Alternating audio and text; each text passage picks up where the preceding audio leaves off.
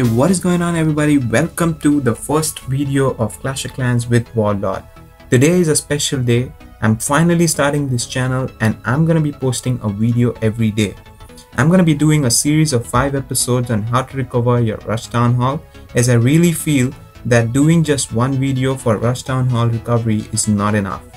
As you all can see, I have rushed my Town Hall 2 so I'm gonna be working with you all on my base and the aim is to reach at a decent place in about a month from now.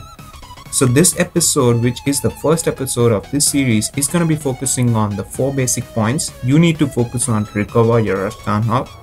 Let's start with the first episode. But before we do that, let me put up some replays for you all in the background. So the first thing you all need to do to recover your base is to put your town hall on the outside. Putting your town hall on the outside will simply help you to get a shield for about 12 hours and defend your resources because a lot of people just snipe town halls when they are doing trophy push. So that is really going to help you.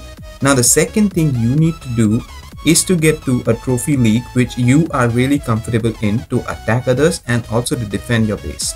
Do not push trophies guys because the higher you go the more the chances of you getting raided and losing a lot of your resources as your defenses are not strong enough to defend your base. It might be a bit difficult to find a loot, a decent amount of loot in the beginning on a lower trophy league, but it will be better as time passes. And thanks to the Supercell's new matchmaking update, it is now a bit easier to find decent amount of loot on a lower trophy league.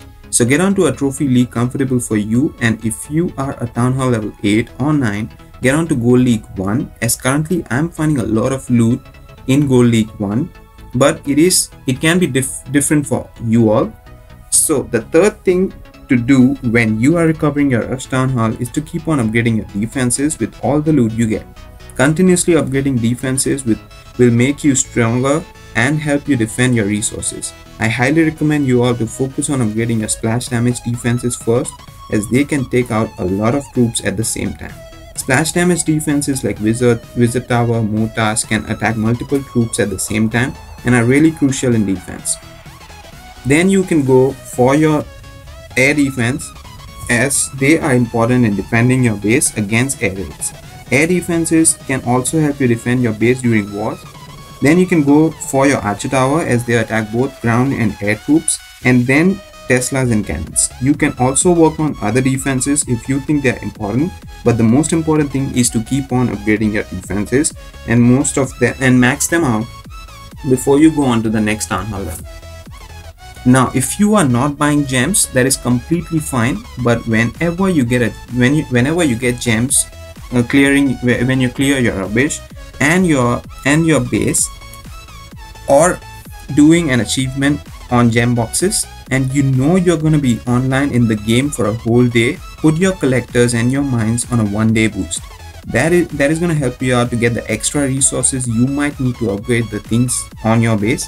I know that a lot of people might not agree with this point, but trust me guys, this gem boost strategy can really be crucial at some times. So the fourth thing you need to do is putting your collectors and mines on a one day boost.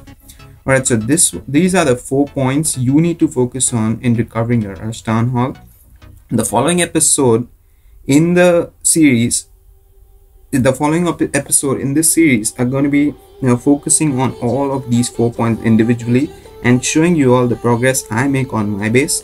I'm going to be posting one video each week in this series. I'm also going to be starting a new Let's Play series for Clash Clans. So those who wanted to start a new base, a new account or have started and can play along with me, I hope you guys like this video and found it useful. And if you guys have any other ideas on recovering a rush town hall you can post them down in the comment section below. If you guys like the video please do like share and subscribe and do all that good stuff.